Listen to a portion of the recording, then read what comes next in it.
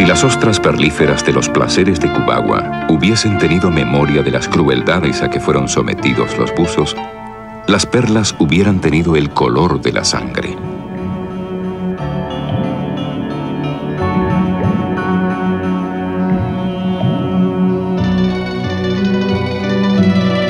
Solo mucho más tarde se usaron escafandras.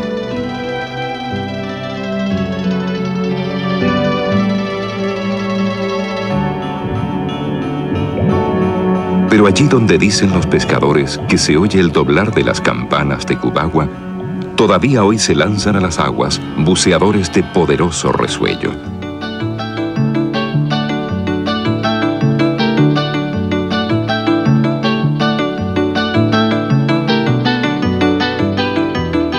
Aún sigue vivo el fascinante embrujo de las perlas. La suave superficie desmenuza la luz más dulcemente que el diamante y sabe, mejor que él, exaltar la belleza de un cuello de mujer.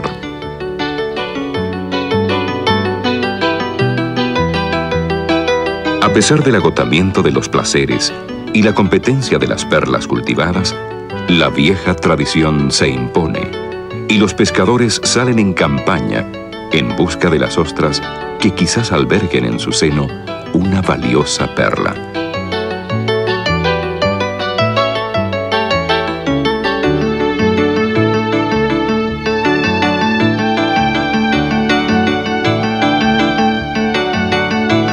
Todos participan en la dura tarea y todos comparten el sueño que enciende llamaradas en sus corazones.